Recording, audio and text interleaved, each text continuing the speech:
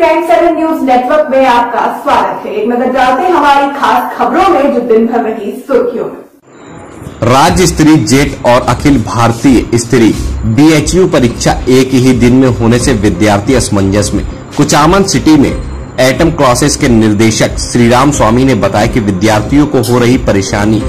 इस साल कृषि विज्ञान स्नातक कक्षा बीएससी एग्री में प्रवेश चाहने वाले विद्यार्थी राज्य स्तर की जेईटी और अखिल भारतीय स्तर की बीएचयू परीक्षा में किसी एक ही परीक्षा में शामिल हो पाएँगे। दरअसल ऐसा इसलिए हुआ कि दोनों परीक्षा एक ही दिन यानी 20 मई को आयोजित की गई।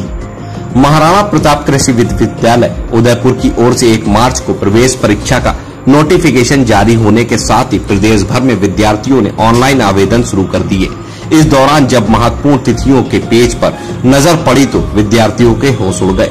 कुचामन शहर के मध्य स्थित एटम कृषि मेडिकल संस्थान के निर्देशक श्री राम स्वामी ने बताया कि दोनों ही महत्वपूर्ण परीक्षाएँ हैं। ऐसे में विद्यार्थियों के लिए किसी भी एक का चुनाव करना मुश्किल होता है। साथ ही साथ किसी भी एक महत्वपूर्ण परीक्षा में वंचित रहने पर प्रतिभावना विद्यार्थी अच्छे कृषि विज्ञान कॉलेज में प्रवेश से वंचित रह सकते हैं। स्वामी ने यह भी बताया कि कृषि विज्ञान में अध्ययनरत विद्यार्थियों को आगे बीएससी अध्ययन के लिए प्रवेश परीक्षाओं में प्रमुख जेट बीएचयू आईसीएआर और है।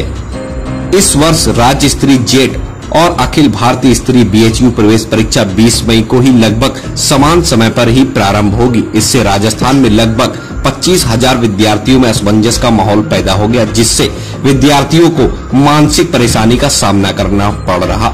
निर्देशक श्री राम स्वामी ने बताया कि जेट के फॉर्म भरने एक मार्च से शुरू हुए हैं और एक माह तक अभी और भरे जा रहे हैं। इसलिए जेट को आयोजित कर, करवाने वाली महाराणा प्रताप कृषि प्रौद्योगिकी विश्वविद्यालय के डीन के बी शुक्ला से परीक्षा तिथि को आसानी से बदल सकते हैं। इसके दौरान प्रवेश परीक्षा के लिए ली जाने वाले शुल्क को भी कम किया जाए, क्योंकि अट्ठाईस सौ रूपए फॉर्म के साथ बैंक चार्ज और फॉर्म भरने का चार्ज जोड़कर एक विद्यार्थी को लगभग तीन हज़ार रूपए का भुगतान करना पड़ता है, जो कि काफ़ी महँगा होने के कारण गरीब विद्यार्थी न तो प्रवेश परीक्षा दे पाते और न ही कृषि में आगे का अध्ययन कर पाते। इस कारणों से कृषि क्षेत्र पिछड़ा हुआ है। छात्राओं में पूजा चौधरी, उषा चौधरी, पिंकी, सुनीता, कुमावत, धीरज मुवाल, इन विद्यार्थियों का कहना है कि जेट में किसी भी पुस्तकों के आंकड़े सही मानेंगे, क्योंकि परीक्षा होने के बाद हर वर्ष 10 से 15 प्रश्न गलत होते हैं, जिससे प्रतिभाशाली